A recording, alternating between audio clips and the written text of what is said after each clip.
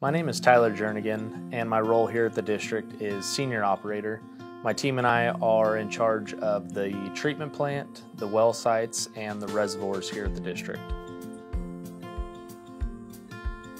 What inspired me to join Mesa Water is really twofold.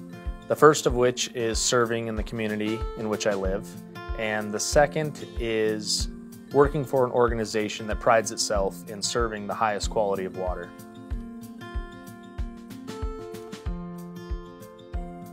So what people would find most surprising about the water industry is really the complexity in which it takes for us as the district to serve every tap within our district clean, safe water. We work as a team here to extract the water out of the ground, treat this water, and deliver it through miles of pipe to every tap in the district.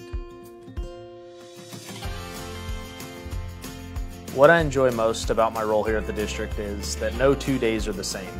Uh, there's always new challenges and projects that are presenting themselves for us to solve.